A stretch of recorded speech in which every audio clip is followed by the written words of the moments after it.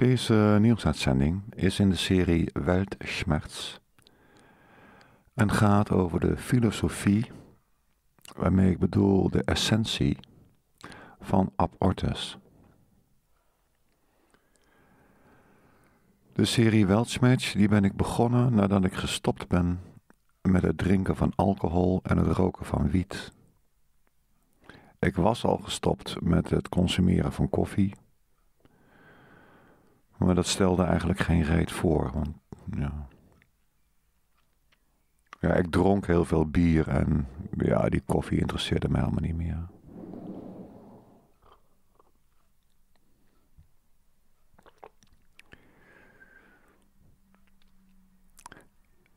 Toen een paar dagen later mijn tabak op was, ben ik ook gestopt met het roken van tabak. Al met al is dat nu uh, vijf weken geleden. Iets meer. En ik ben zo nuchter als een aap. Of een baksteen. En al die onderwerpen waar ik het daarvoor over heb gehad, die heb ik besproken onder invloed. Maar niet dat ik straalbesopen was, maar. De mensen die mij wat beter kenden, die wisten dat ik niet helemaal uh, helder was. Daar ben ik nu wel. Ik zou niet weten hoe ik nog helderder zou kunnen zijn. Andere dingen die ik gebruikte waren speed en een of andere druk waarvan ik de afkorting niet meer weet. En paddenstoelen meuk. Allemaal leuk spul. Heb ik ook niet meer gedaan. En ik denk ook niet meer dat ik het allemaal ooit nog eens een keer ga doen. Sorry, dus ik kom van de thee. Behalve thee drinken, dat vind ik wel lekker. Zonder suiker natuurlijk. nee, het is allemaal goed. Het gaat goed met mij. Lichamelijk voel ik me prima. Deze Weltschmerz-uitzending, het stond al in de titel. De, de filosofie van abortus. De essentie, bedoel ik daarmee. En Weltschmerz is aan de ene kant die serie die ik begonnen ben uh, toen ik helemaal nuchter was. En dat ik denk, nou alles waar ik het over heb gehad, dat doe ik nog een keer dunnetjes over, maar dan nuchter. Weltschmerz betekent ook uh, wereldsmart. Van wereldsmart huilt mijn hart. Een abortus, voor mij staat dat gelijk aan smart. Een wijdverbreide vorm van smart.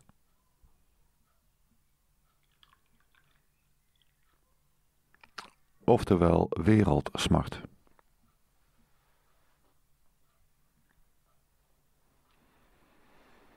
Maar wat is abortus nou? Wat is de, de essentie daarvan? Nou, wat het niet is, is dat het hetzelfde zou zijn als een amputatie. Of het laten verwijderen van een vrat. Ik heb momenteel een vrat onder mijn linkervoet echt een heel naar ding. En ik overweeg toch om dat ding operatief te laten verwijderen. Ik ben hem helemaal beu.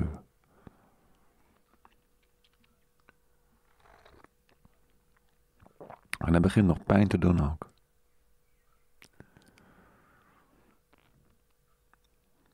Kijk, dat is iets. Dat is mijn keuze. En ik weet dat er mensen zijn en die zeggen: dat moet je niet doen bij een vrat. Dat is levensgevaarlijk. Want zo'n vrat kan dan binnen slaan als je dat gaat doen. En dan ben je nog verder van huis. Zo'n eh, zo'n amputatie, die moet wel 100% lukken. Anders ben je super de bok. Maar dan nog, als ik het, uh, als ik het wil, ja, het is mijn voet, het is mijn vrat. En ja, ik beslis.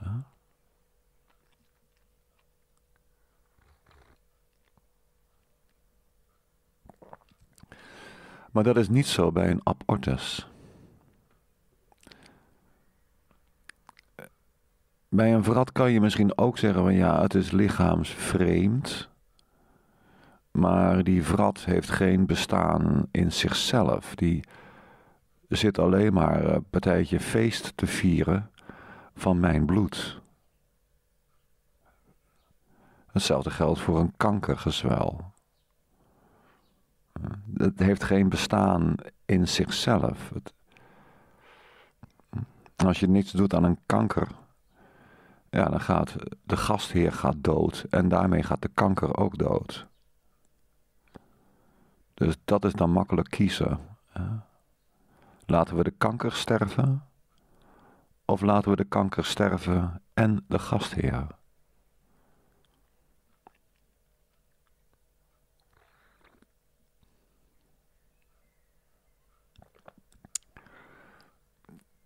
Dit laatste, die analogie, dat is voorstelbaar dat er een zwangerschap is die zo bizar is dat doktoren zeggen van ja, als we hier niks aan doen, dan gaat uh, het ongeboren kind dood en de moeder.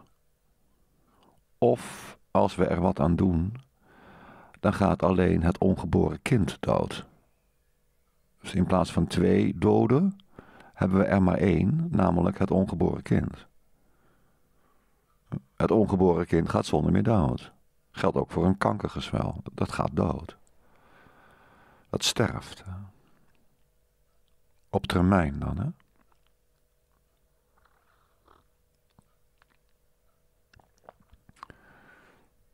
Nou, in die gevallen dat je zo'n zwangerschap hebt, lijkt het me gerechtvaardigd dat je overschakelt tot een abortus. Maar dan moet je wel zeker zijn van je zaak. En wat ik net noemde is dermate bizar dat dat eigenlijk niet voorkomt. Uh, dus hetzelfde, het is heel uitzonderlijk. Ik zou, ik, ik zou niet weten hoor, uh, hoe vaak dat voorkomt in Nederland. Zo'n noodzaak. Hè? Ik weet wel dat er, uh, ja, dan doen ze vruchtwateronderzoek en dan blijkt dat het ongeboren kind een afwijking heeft.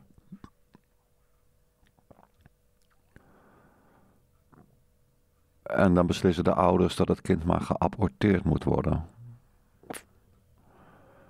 Ja, dat vind ik een grensgeval. Ik weet dat er ouders zijn die, uh, als het kind Down syndrome heeft, heb je een chromosoom te veel, dat ze dat al een reden vinden om de zwangerschap te beëindigen. En Down syndrome vind ik geen reden om een zwangerschap te beëindigen. Dat zijn ook mensen, namelijk.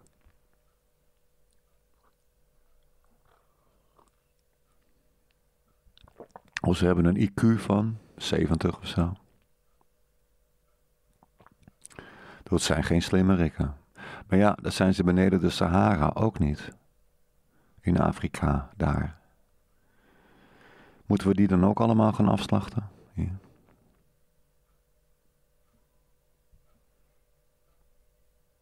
Nou, dat lijkt me niet.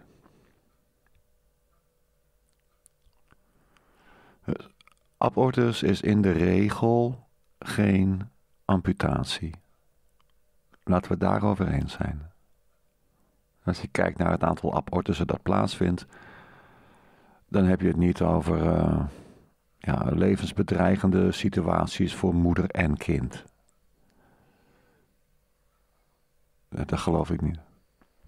Ik heb er nooit een onderzoek naar gezien hoor, maar ik denk dat uh, 99% van de abortussen wordt aangevraagd omdat vrouwen tot hun grote schrik constateren dat ze zwanger zijn geworden. En denken van oeps, maar ik ben er niet aan toe om voor een kind te zorgen.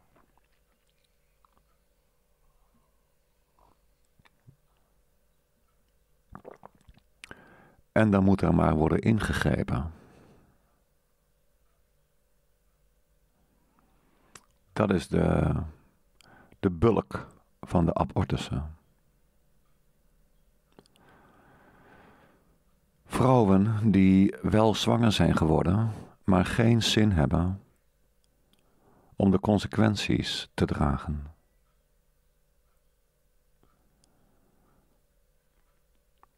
En waar gaat het nou om? Hè? Als er dus geen amputatie is.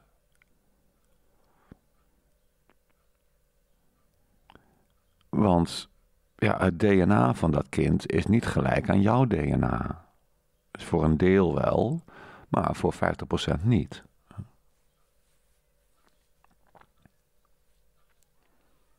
Het heeft uh, van jou als moeder de helft van jouw DNA.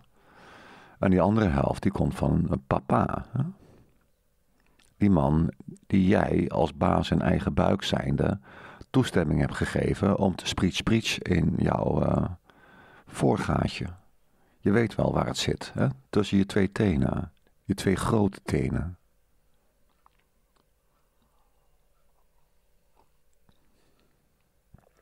Maar jij hebt daar toestemming voor gegeven. Ja, dan kan je nog zeggen, uh, ja, ik ben verkracht. Dus dat is ook zo'n twijfelgeval. Maar dan nog, het is een, een wezen, dat is niet gelijk jou. Het is geen arm van je, of een been, of een nier, of een stuk darm. Het is een nieuw wezen. En dat begint heel klein, hè, met een eicel. Een eicel, dat is wel een van de grootste cellen van jouw lichaam als vrouw. Hè. Maar heel klein.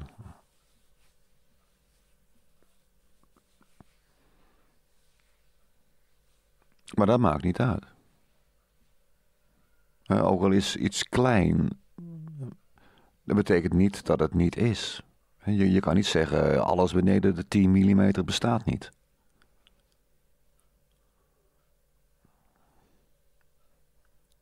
En wat je zeker weet, is dat zo'n bevruchte eicel, als je dat de tijd geeft, dan komt daar een mens uit. En ja, dat is dan 40 centimeter lang. En weegt een, een paar kilo. En in de regel doet alles het in één keer hoor. Dus, uh, die mond gaat gelijk uh, aan de tepel. En dan die kont hem Ja, ik, ik, heb, ik heb een kind opgevoed. Voor mij heeft uh, het wezen van een nieuw mens geen geheimen.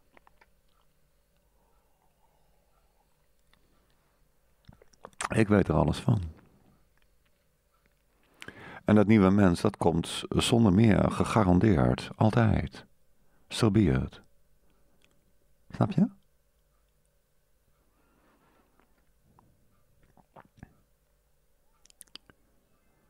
En mag je dan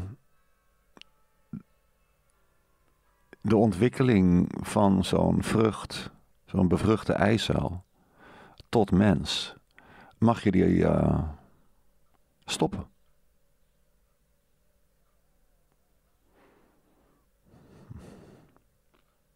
Eh, zonder dat daar een medische reden voor is.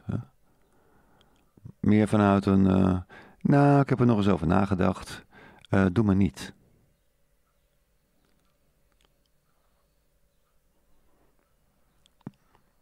als je in de snackbar zegt van uh, mag ik uh, vijf frikandellen met en een grote gezinszak friet en, en drie blikjes cola. En die man heeft alles klaar en, die zegt wil je er een plastic zakje bij? En dan je zegt van nou ik heb er nog even over nagedacht, laat me zitten. Ik, ik hoef het toch niet. Nou de gemiddelde snackbar eigenaar die raakt pist of hè.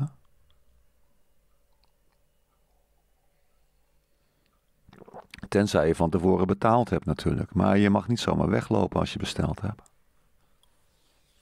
Moet je in een restaurant ook niet flikken. En als jij een kind in je buik hebt, heb je dan die verkrachte moeders daar gelaten? Maar dat kind in jouw buik heb jij besteld, of niet? Maar je gaat mij niet vertellen dat je niet wist dat je van die daad eh, een kind zou kunnen krijgen. Oh, dat wist ik niet. Ik dacht dat kinderen uit de bloemkool kwamen. Met de ooievaar. Ja, wist ik veel dat het had te maken met de seksuele daad. Ik dacht dat de seksuele daad alleen maar een grapje van God was. En dat is gewoon lekker om te doen. Ja, ik wist het echt niet hoor. Ja, dat ga je mij tegenwoordig niet meer vertellen.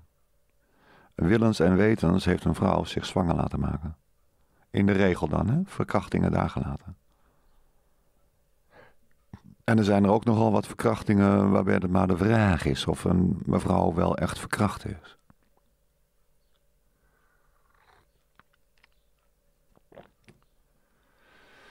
Want die verhalen ken ik ook. Helaas voor jullie dames dat ik dit allemaal weet, hè? Jullie leugenachtige praktijken uh, hebben voor mij geen geheimen meer. En ik zeg niet dat alle dames liegen, maar er zijn dames en die liegen. En een hart grondig ook.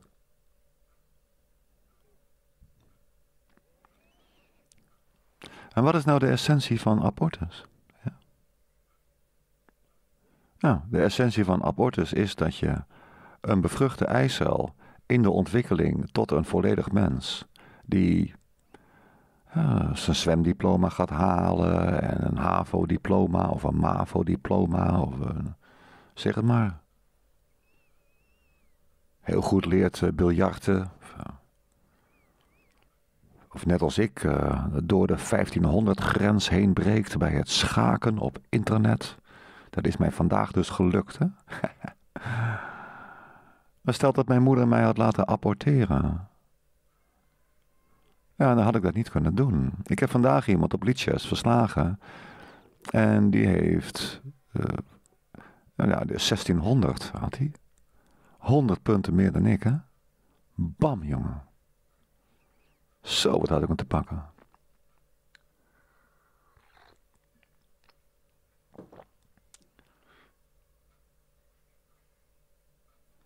En dat had ik allemaal niet kunnen ervaren als mijn moeder had besloten om mij te laten aborteren.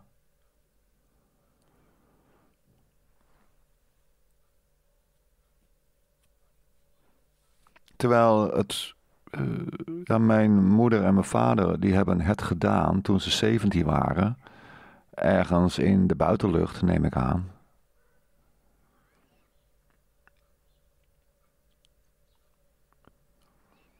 En er was helemaal geen, ja, het, het normale traject is verliefd, verloofd, getrouwd. En dan gaan we wipper de wipper. mijn vader en mijn moeder hadden zoiets van, kom op, we gaan gelijk aan de wipper de wipper. Het is toch zo leuk. En toen ineens, hoeps, was mijn moeder zwanger. Nou, in die dagen, dat is het 1959. Nou, nee, in 1958 kwam mijn moeder erachter. Want denk ik. Of in januari 1959. Want ik ben geboren in op 29, of op 29 augustus. Ja, een zwangerschap heb je natuurlijk niet gelijk de volgende dag in de gaten. Dus. En ik ben dus verwekt ergens. Ja, dat moet een 8 binnen 29 november of zo.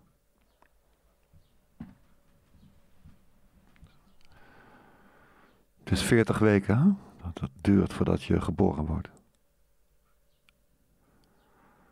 En 29 augustus geboren en achteraf. Ja, 29 december moet je dan denk ik zeggen. Nee, nee, nee, 29 november. Ja.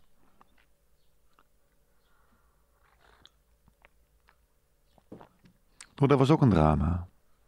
En dat huwelijk werd ook een drama. Die twee, die, ja, die, en die pasten niet bij elkaar. Mijn moeder heeft een ongelooflijk grote mond. En mijn vader is een, ja, lijkt veel, of ik lijk veel op hem, zo moet ik het zeggen. Maar is een zachtmoedig iemand die enorm veel talenten heeft, en veel inzicht heeft. En ja, als hij wat wil, dan kan hij het hoor heel creatief was hij. Hij is nou overleden. Hij is van, ja, Dat, noemen ze dan een ongelukje. Een ongelukje in het ziekenhuis. Is MRSA. Ik noem het, uh,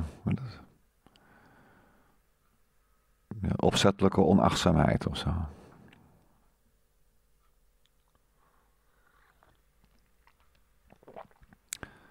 Dood door, nou niet schuld, maar dood door onachtzaamheid.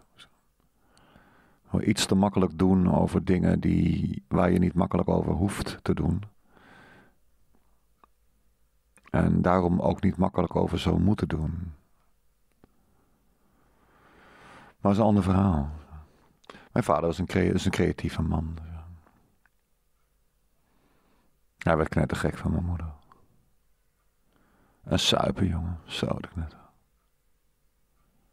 Die heeft veel gedronken.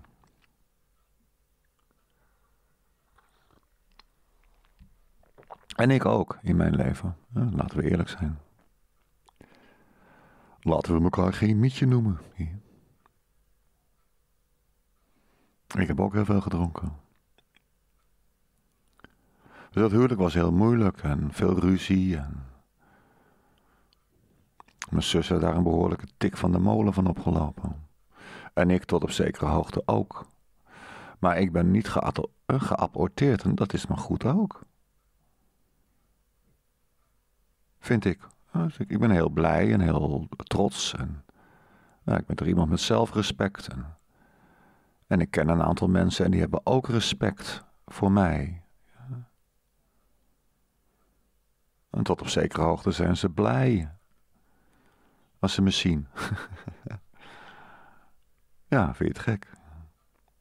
Ik kan wel wat.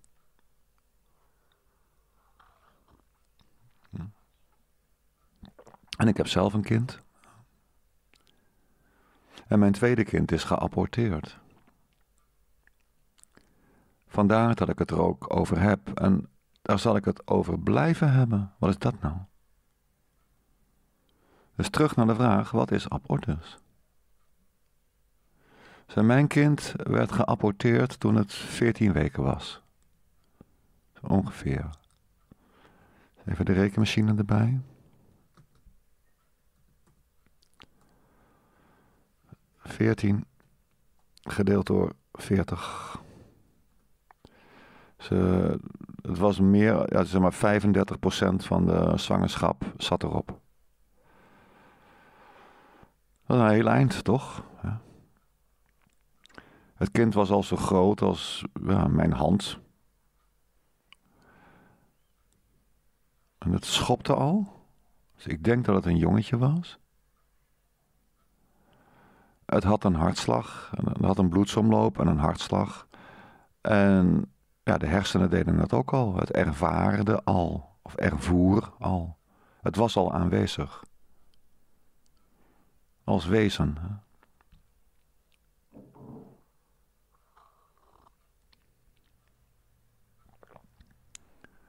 En we zullen nooit weten wat voor kleur haar het had. En wat voor kleur ogen.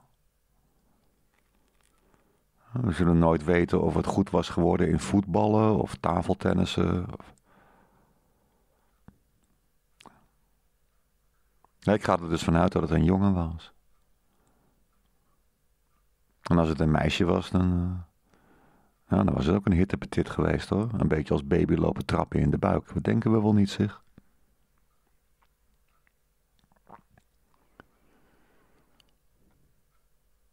Om een of andere reden denk ik dat het een brunette geworden zou zijn als het een meisje was. Een brunette met krullen.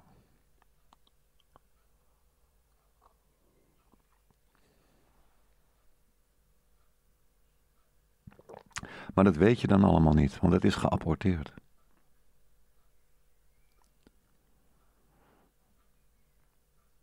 Nou, wat je zeker weet met een abortus is dat een levend wezen dat wordt gedood. Dus het is geen amputatie. Bij, bij een amputatie wordt er niet iets gedood. Als, als mijn vrat zo dadelijk geamputeerd wordt, wanneer ik het echt totaal beu ben met dat apparaat. En er hoefde niet een begrafenis te komen voor mijn vrat. Hier ligt de vrat die onder de voet van Perry zat. Laat de vrat rusten in vrede. Nee, natuurlijk niet. Bij een amputatie wordt er niet iets gedood. Bij een amputatie wordt er iets verwijderd waar je last van hebt. En bij een abortus wordt er iets gedood. Nou, en wat wordt er gedood? Nou, dat wat bezig is om eh, eruit te kruipen en te gaan lopen blaren als het dan uh, honger heeft. En te gaan lopen blaren als de luier vol zit met van die uh, bruine pap. Of pies. En zo'n kind is dan nog 14 jaar afhankelijk van de ouders. En dan is het in principe in staat om uh, ja, zelfstandig te zijn.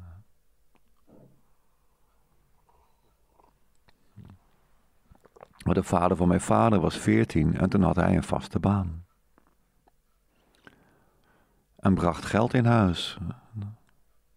Voor zijn eigen gezin. Van, uh, had een aantal broers. En ook nog een aangelopen broer. Waarvan ik helemaal niet wist dat het helemaal geen familie was. Maar dat was in de tijd van de. Na de Eerste Wereldoorlog of zo. Die, die recessie. Mensen hadden het heel arm. En mijn opa die werkte vanaf zijn veertiende. Ja, dat kan. Ja. 14 jaar dan ja, hoefde, hoefde dus niet meer gezorgd te worden voor mijn opa. Mijn opa zorgde voor het gezin. Die bracht, die, die bracht het kostgeld in. Zeg maar. En dat deed hij niet alleen voor zijn eigen gezin. Nee, een deel ging naar het gezin van zijn vriendin.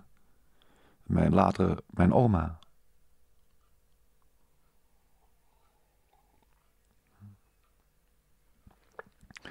Zo heb je 14 jaar lang de zorg voor een kind. En dan is het klaar om er tegenaan te gaan. Als je de zorg goed hebt gedaan. Als je niet goed hebt gedaan, dan heb je zo'n 14-jarig kind en dat is een hartstikke afhankelijk.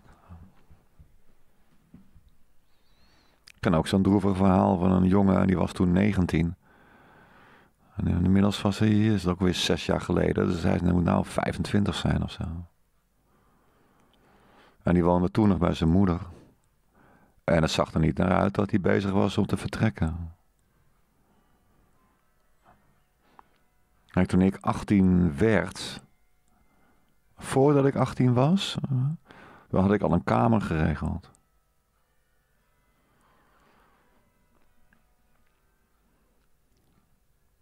Dus ik was één week 18 en ik was zelfstandig. Ah, met een studiebeurs. Maar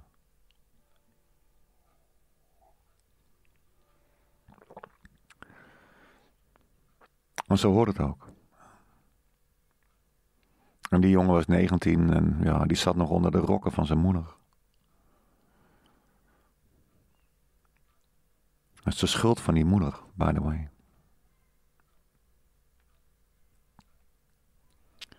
Maar je moet zorgen voor je kind. Dat heeft dat kind recht op. En als jij als vrouw onverhoopt zwanger bent geworden en, en je wilde helemaal geen kind, nou, punt 1 had je geen seks moeten hebben. Of je had dat super, super, super veilig moeten doen. En hoe moeilijk kan het nou zijn? Als je, als je in je agenda bijhoudt uh, wanneer je ongesteld wordt, op een kalender of zo. Ja, in de regel is het eens in de vier weken. Het heeft te maken met de maan. En de maan uh, draait om de aarde met een frequentie van eens in de 28, 29 dagen of 27 dagen. Wat is het? Afgerond af 28 dagen, vier weken. Nou, als je daarbij nog even de moeite neemt om jezelf de temperaturen dan weet je perfect wanneer je ijsprong is, man. Nou, zoveel dagen voor de ijsprong, zoveel dagen na de ijsprong. Uh, gewoon geen seks. Klaar. Ook niet met een condoom. Ik zou het risico niet nemen.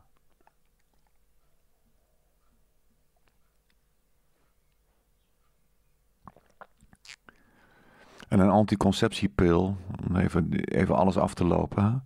Een anticonceptiepil, die naam die klopt niet. Want de conceptie, die kan je niet tegenhouden. De conceptie geschiet op het moment dat de spermatozoïde van de man, met zo'n zweepstaartje, dat die naar binnen dringt in een, de eicel. En dat is de conceptie. Die hou je niet tegen. En die bevruchte eicel, die, die begint allemaal eh, hormonen, stofjes, toestanden af te scheiden, uit te scheiden als signaal naar het lichaam van oh, ik ben bevrucht, oh. En dan moet het lichaam erop gaan reageren door die baarmoederwand, die, moet dan open gaan staan. Van, eh, oh, kom maar hoor, kindje. En, dan gaat die bevruchte eicel naar beneden of zo. En die plakte dan, als het ware, vast aan de baarmoederwand. En dat laatste proces, dat wordt met de, de pil, die dan de anticonceptiepil heet. Dat laatste, dat, dat wordt voorkomen. Dus die bevruchte eicel die gaat vol goede moed naar beneden toe. Om, uh, lekker naar de baarmoeder. Van, oh, wat zo, oh, wat wel fijn. Ja. En, en die ligt even later in de play. anticonceptiepillen zou ik niet beschouwen als een gezonde manier van voorbehoedsmiddel. Los van het feit dat het heel slecht is voor jouw lichaam als vrouw. Je dat ik als vrouw achteraan zet, want als man ga je het natuurlijk niet slikken. Maar het is slecht voor je om uh, dagelijks hormonen te slikken.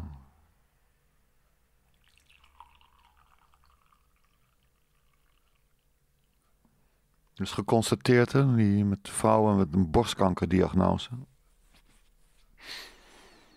Dat er werd gevraagd van, uh, gebruikt u de pil? En zo ja, hoe lang? En toen zijn ze dat ook uh, maar at random gaan doen.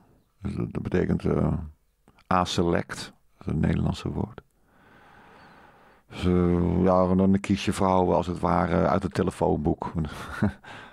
Gewoon zomaar of zo. Hè? En aan al die vrouwen werd ook gevraagd van gebruikt u de anticonceptiepil? Nou, wat bleek nou? Dat vrouwen met een borstkankerdiagnose, die gebruikten veel vaker, kwam dat voor, dat ze anticonceptiepillen hadden geslikt. Voor langere periodes. Waaruit je kon concluderen dat het slikken van de anticonceptiepil de kans op een borstkankerdiagnose verhoogt. Ja, het gek? Nou, serieus, verbaast je dat?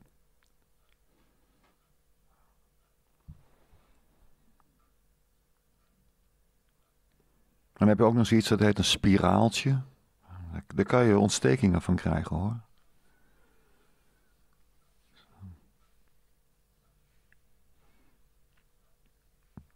Dat is allemaal niet zo fijn. En waarom zou je het doen? Hè? Er zijn culturen waarin vrouwen. Uh, daar wordt de clitoris wordt verwijderd. En de gedachte erachter is van ja, als die vrouwen één keer de kriebel uh, krijgen, dan gaan ze met Jan en alle man lopen doen. Dan komt alleen maar ellende van. Dus laten we de klitten maar afsnijden. Nou, dat zal je mij niet horen zeggen. Maar ik snap wel wat erachter zit. Want het is inderdaad zo dat je er niets dan ellende van krijgt. Van vrouwen die het maar met Jan en alle man lopen doen. En uiteindelijk zijn het de vrouwen die ervoor verantwoordelijk zijn voor dat promiscue gedrag.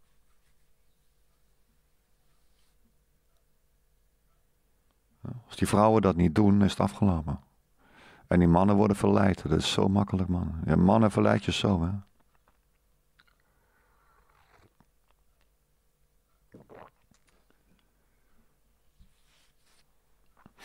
Nou, die mannen moeten daar maar tegen kunnen. Ja, ja. Vrouwen doen het hoor. Vrouwen lopen met minirokken. Het is ook vastgesteld hè, dat, uh, vrouwen hebben natuurlijk meerdere kleding en dingen. Hè? En wordt er gekeken naar eh, wanneer ze dan de minirok aandoen. En wat blijkt dan? Ja, rond de ijsprong. En die vrouw zegt, nou, ik heb wel zin om een eh, lekker kort rokje aan te doen. Ja, ze hebben net de ijsprong, of die komt eraan. Weet zijn ze in een vruchtbare periode. En dan gaan ze in een minirok lopen. Ja. En dat weten vrouwen niet.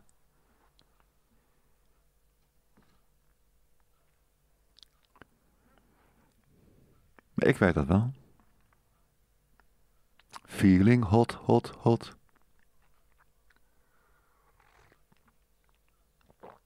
Klopt dat nou? Ik ga eventjes uh, even biologieles doen hoor.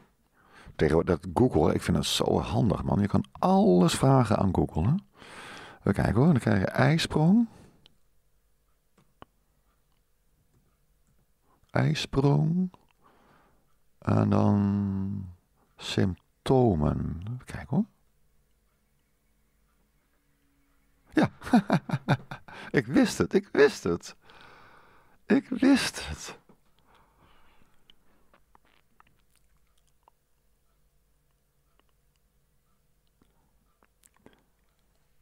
Uh, ovulatie, daar gaat het om, dat is de ijsprong. Ovulatie. Het is, uh, ja, je, hebt dus, uh, je krijgt een doorzichtig, heldere en elastische afscheiding. Het ook wel cervix-slijm genoemd. dat is dan iets van baarmoederachtig slijm of zo. En je baarmoedermond gaat openstaan. Je kan ovulatiepijn hebben, dat is een menstruatieachtige kramp.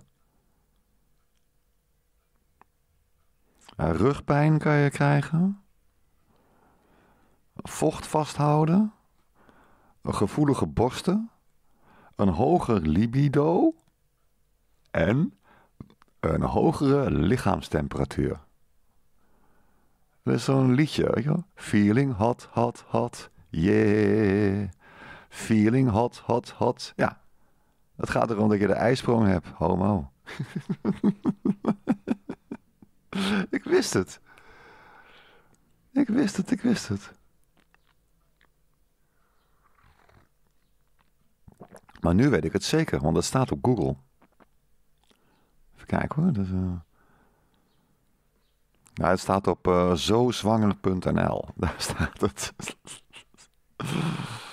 Ovulatie of ijsprong. Een eicel klaar voor bevruchting. Ja. Die staat op 24baby.nl.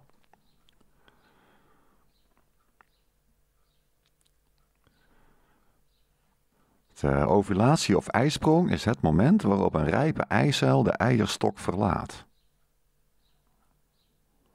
Nou. Kortom, als jij uh, tegenwoordig, vroeger als je wilde lichaamstemperatuur, dan moest het heel ingewikkeld. Dan moet je een ding in je anus stoppen of zo. Maar tegenwoordig heb je zo'n apparaatje nu zo in je oor. Zo, pliep. Oké. Dan schrijf je even elke dag even de temperatuur, je lichaamstemperatuur schrijf je op. Even ja, het is jouw lichaam. Jij bent toch baas in eigen buik? Nou dan. En als de ijsprong voorbij is, ja, ja dan, dan kan je in principe, uh, ja, ik zeg niet dat het moet, maar, hè? maar dan ben je niet vruchtbaar.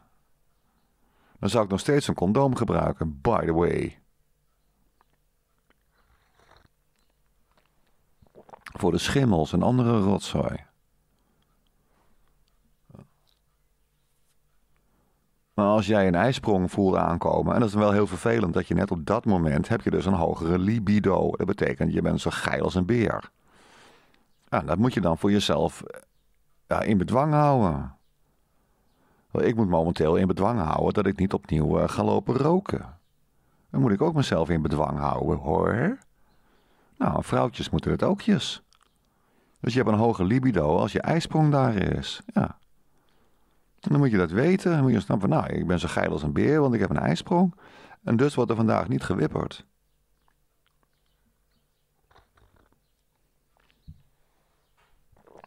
Als je verstandig bent. Als jij het recht hebt om te mogen zeggen dat jij baas in eigen buik bent. En als je dat niet bent, als je niet zo verstandig bent, ja, waarom zou je dan baas zijn in eigen buik? Of beter gezegd, uh, waarom zou je dan niet blauw moeten gaan betalen voor het laten uitvoeren van een abortus? Voor het laten doden van, hè, dus het gaat om doden, dat zijn we nou net eens, hè, van een wezen.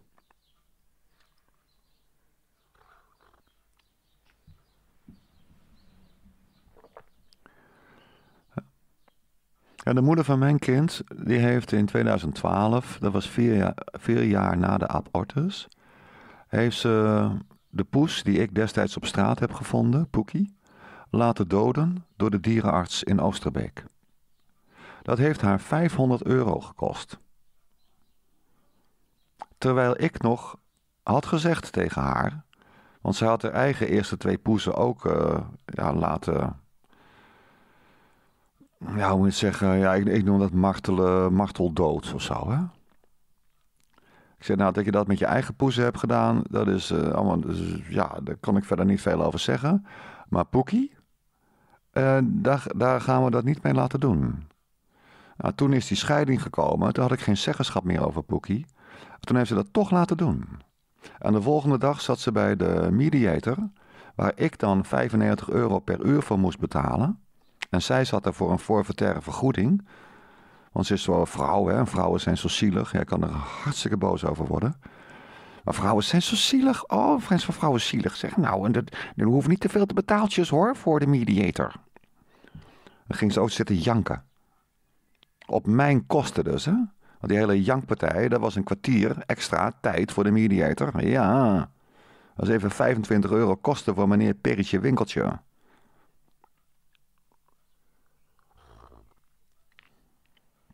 Ongelooflijke woede die dat in mij oproept. Als je wezens gaat vermoorden.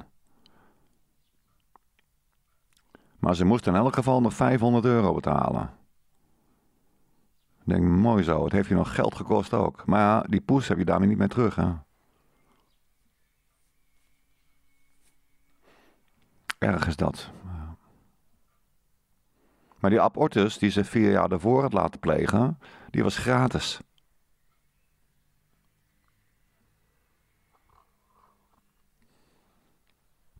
En in beide gevallen hè, is er een wezen gedood. En dat wezen was onschuldig. Dat gold zowel voor Poekie, die er niets aan kon doen dat hij 19 was. En dus ja, een beetje oud. En uh, ja, zij heeft het beest mishandeld, verwaarloosd. Dus dat heeft. Och, och, och, och, och. Ik vraag me af op welk moment ik dat met mijn kind kan doornemen. Wat zij, wat mijn kind, die moeder, die poes heeft laten aandoen. Kan ik wel het grote breekpunt worden tussen mij en mijn dochter. En het is dan maar zo.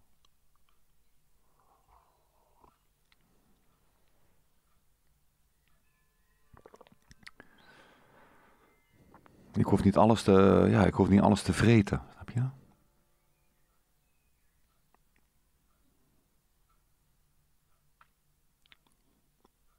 Maar dat ze dat kind, dat die moeder dat kind heeft laten, het ongeboren kind heeft laten doden.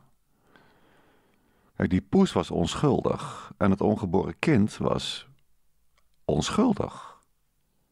En hoe noem je dat nou als je een onschuldig wezen doodt?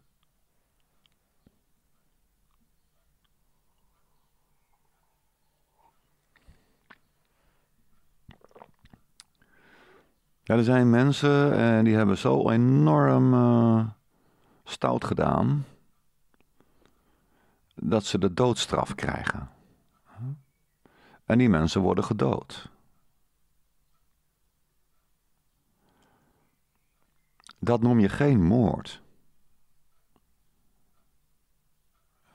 Iemand die zoiets voltrekt, zo'n beul, dat is geen moordenaar die dood. Meer niet.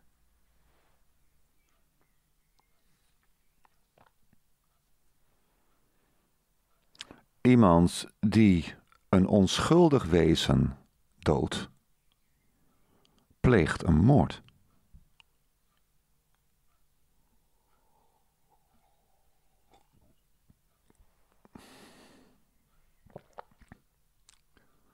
En die vrouwen die dan nu lopen brullen van ja, het is ons recht om een ongeboren kind eh, te laten doden. Dan wil ik als eerste zeggen, nou, het is geen doden, het is moord. Dus heb jij het recht tot moord? Ja, want ik wil niet zorgen voor dat kind. Oké, dan kan ik me iets bij voorstellen. Eh, je hebt dus, eh, je weet precies als vrouw wanneer jij je ijsprong hebt. Hè? Uh, www.zozwanger.nl en die andere is 24baby.nl. Ja? Even de dames allemaal de smartphone erbij. Even lekker lezertje. Ja, is moeilijk hoor, lettertjes. Moet je lettertjes leesjes, zinnetjes begrijpjes, ja? Je weet precies wanneer je zwanger kan worden. Punt. En als je ondanks dat zwanger wordt, is dat jouw schuld.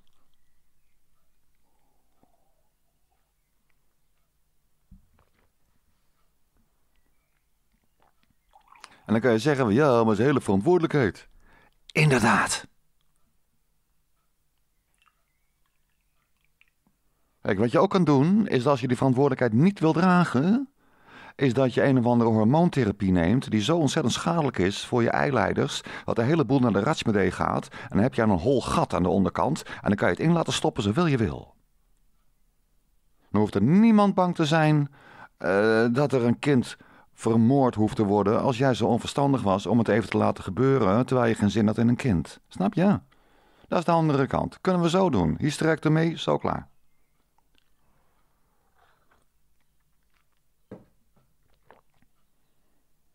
Uh, waarschijnlijk is bestraling al genoeg. Gewoon kobalt 63 of zo. Radioactieve rotzooi, daar wordt er even tegen. Daar brengen ze in. En dan stralen ze je eicel-dinges lichamen. Dat heet toch het gele lichaam of zo. Waar die eicellen allemaal in zitten. Dat wordt even kapot gestraald. Klaar.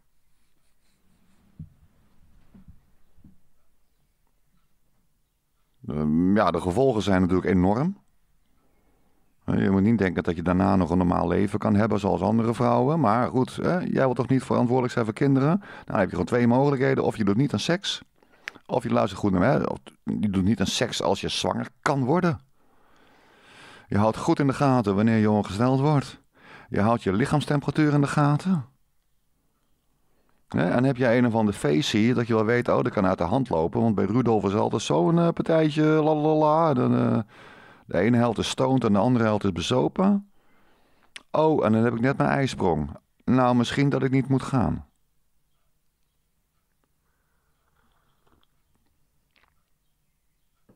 Het is jouw verantwoordelijk namelijk, verantwoordelijkheid namelijk.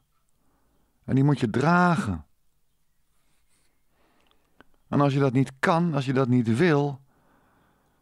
Ja, meisje, meisje, waar ben je mee bezig? Ja. Ja, ik geef het je maar even eh, voor de kanus hoor. Want dit zijn geen grapjes. Ik heb net verteld dat de filosofie van abortus is gelegaliseerde moord. Want het is legaal hier in Nederland. Het is nog gratis ook.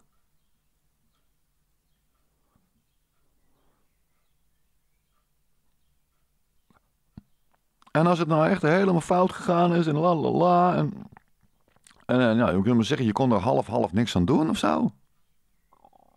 Wat dan? Nou, dan moet je je zwangerschap uitdragen, punt 1. Niet roken. Geen alcohol drinken. En dan heb je dan, eh, nou, vanaf het moment dat je tot de ontdekking komt dat je zwanger bent, dat is meestal na een maand ongeveer, want dan heb je geen. Uh, en dan word je niet meer ongesteld. En dan denk je, oh, oh, ik word niet ongesteld. Oh, zeg. Dan doe je eens een proefje. En dan blijkt inderdaad dat je zwanger bent. Dan ga je gelijk naar de huisarts toe. En dan zeg je, nou, ik, ben zwanger, maar ik wil niet voor het kind zorgen. Ik heb er helemaal geen zin in. Daar ben ik veel te jong voor, of whatever. Hè? Gewoon een stapel excuses bij elkaar stapelen. En dan vraag je aan die huisarts om een telefoonnummer voor jeugdzorg of hoe heet dat? Uh, adoptatie.nl of zo. Sta je kind af.org. En dan ga je kennis maken met die organisatie. Dan kan je nog helemaal begeleid worden. Als je op dat moment geen vaste woon- of verblijfplaats hebt of zo, kan je die nog krijgen ook. Net zolang dat jij eh, de zwangerschap uitgedragen hebt, dan is het nog even een kwestie van baren. En dan ben je klaar.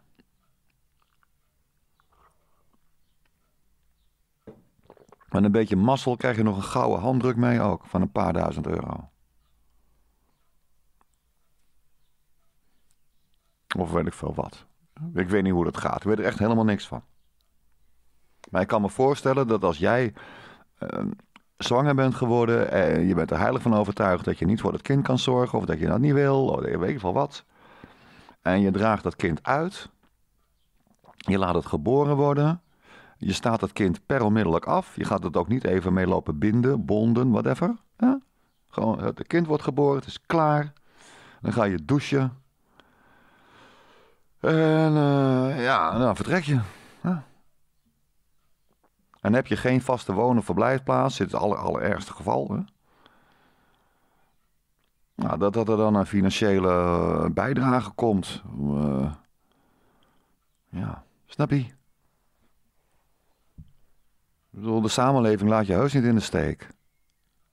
En dat, dat zo'n kind bij de geboorte onmiddellijk afstaan. Nou, dat kind weet helemaal niet dat het geadopteerd is. Dat kunnen die ouders dan een keer vertellen als dat kind 16 is of zo.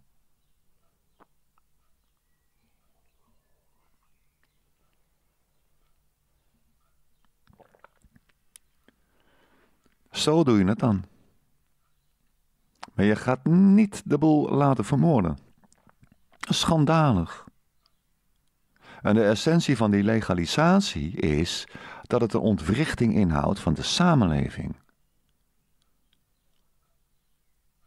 En die is met dingen als homohuwelijk. En dat twee mannen ook zich aan kunnen melden als adoptieouder. En twee vrouwen ook.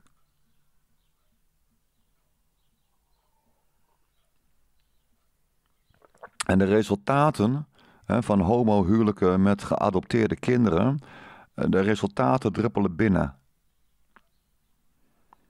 En, uh, leiden, en daaruit blijkt dat die kinderen die zijn niet happy. Die hebben bovenmatig lopen ze het risico op drugsgebruik, alcoholmisbruik. Uh, de jongetjes ontsporen en weet ik veel wat allemaal. Crimineel gedrag, zeg het maar.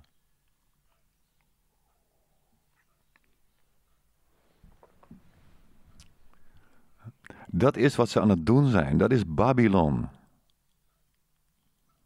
Babylon die maakt het zo makkelijk dat jij een ongeboren kind kan laten vermoorden. Snap je? Satan is dat. Dat is de antichrist. Dag en het even weten.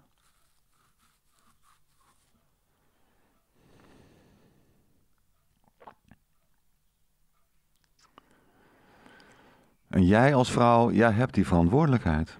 En draag die. Daar krijg je voor terug, meisje. In positieve zin, hè? Als jij je verantwoordelijkheid draagt en dat je weet, nou, ik ben een, een babyfabriek. Een wandelende babyfabriek. Je hoeft mij maar aan te kijken met waterige ogen en dan hop, dan ben ik al zwanger. Hè, bij wijze van spreken. Nou, wees daar trots op. Het zijn jouw kinderen, namelijk. Als je dat goed doet, zijn jouw kinderen. Kijk, als man heb je dat niet hoor. Als je als man uh, een oude dagsvoorziening wil, ja, dan, dan zal je naar pensioen.nl gaan. En dan moet je maar hopen dat, uh, dat die lui je niet tillen.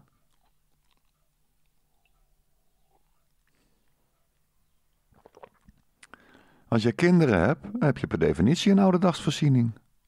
Want als jij goed voor je kinderen zorgt, zullen je kinderen jou niet in de steek laten. Zeer zeker mama niet. Papa's, die uh, ligt een beetje aan hoe het huwelijk loopt. Maar... mama zeker niet. Die, die verantwoordelijkheid die jij hebt, eh, met als dat jij een wandelende babyfabriek bent. Dat kan je vervelend vinden, maar er zitten positieve dingen aan. Ja, dan wees je daarvan bewust. Toch? Dat is toch niet erg? En inderdaad, je, je, je kan niet zomaar seks hebben met, met Jan en Alleman. Maar, eh, ja, dus? En? Omdat? Dan mocht je toch al niet. Van Mozes. Ja, maar Mozes, wat was zijn achternaam eigenlijk? En uh, mensen zonder achternaam? Nou, dat doe ik niet aan. Nee.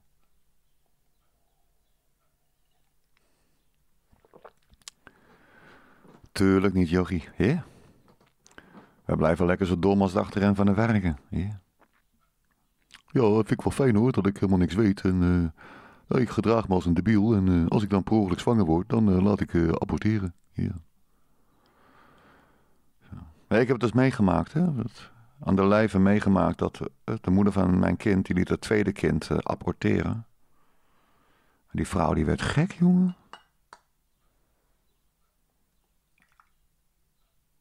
Dus uh, twee maanden na die abortus was mijn eerste kind jarig. Toen heeft zij erop toegezien dat het kind bij die, verjaardag, het kind zou doen, werd toen negen, dat het kind geen cadeautjes had van papa en mama.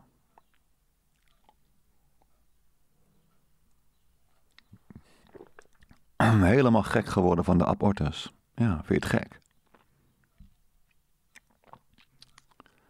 Ze denkt er goed over na, meisje, meisje. Ja. Kijk, nieuwsuitzending uh, ten tijde van deze opname is die nog niet geüpload. maar hij staat wel klaar. Is nieuwsuitzending 658. Daar zie je zo'n jonge vrouw die bij kant staat te huilen omdat ze zo graag het recht wil om een moord te kunnen laten plaatsvinden op een ongeboren kind in haar eigen buik dat ze het verschrikkelijk vindt dat dat zo moeilijk is in North Carolina.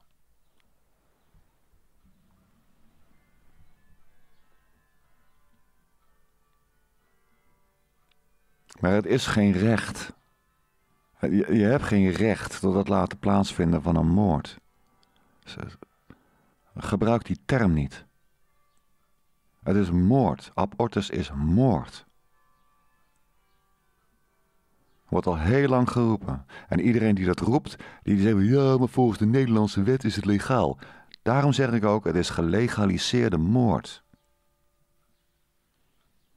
En dat maakt het niet oké.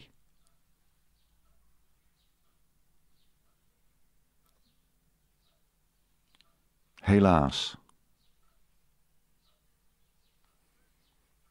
En degene die verantwoordelijk is voor die wetgeving, nou, die moet mij niet tegenkomen in een donker steegje. Dan ga ik toch even een gesprek met hem beginnen. En dan roep ik als eerste heel hard boe. Hier is jouw nemesis. Jouw godin der wraken. Ja, ze hebben in Amerika bij Planned Parenthood hebben ze een experiment gedaan. Dus Abby Johnson is daarbij aanwezig geweest. Om tijdens een abortus een, zo'n sonar-ding, zo'n zo geluidstriltoestand uh, op de buik te zetten van die zwangere vrouw. Zodat die uh, dienstdoende aborteur dan kon zien op het beeldscherm uh, waar hij aan het peuteren en frotten zat. Dat hij een beetje kon zien wat hij deed. In plaats van een beetje op gevoel met je ogen dicht van, oh, daar zit volgens mij de foetus. Want dat ging wel eens mis, weet je. Dan zat hij te zuigen aan de baarmoederwand en dan krijg je een gaatje in je baarmoederwand. Krijg je daar gangreen of zo en dan ben je er, nou eh, ernstige gevolgen voor de moeder. Dus toen dacht ze, nou, dan, doen we het dat die man een beetje kan meekijken. Ja, en toen zag zij, Abby Johnson en die man die de abortus uitvoerde, de aborteur, die zagen dus hoe de foetus, dat ongeboren kind, probeerde weg te komen van die stofzuigerbuis. Want het deed auw. En toen heeft Planned Parenthood, hè, de organisatie die in Amerika 60 miljoen abortus heeft laten plaatsvinden, gezegd van oké, dat doen we dan niet meer. Het is weliswaar levensbehoudend voor de moeder, maar dit is te traumatiserend voor degene die de abortus moeten uitvoeren, CQ moeten assisteren, zoals Abby Johnson. En Abby Johnson heeft ook gezegd, uh, toen ze dat aanschouwd had en toen ze dat verwerkt had, toen is ze gestopt met te werken voor Planned Parenthood en ze is een campagne begonnen om mensen te waarschuwen om niet langer te aborteren. Want het is een moord. Dank jullie wel voor het luisteren. En op zijn hamburgers zag ik tjus. En dag lieverds.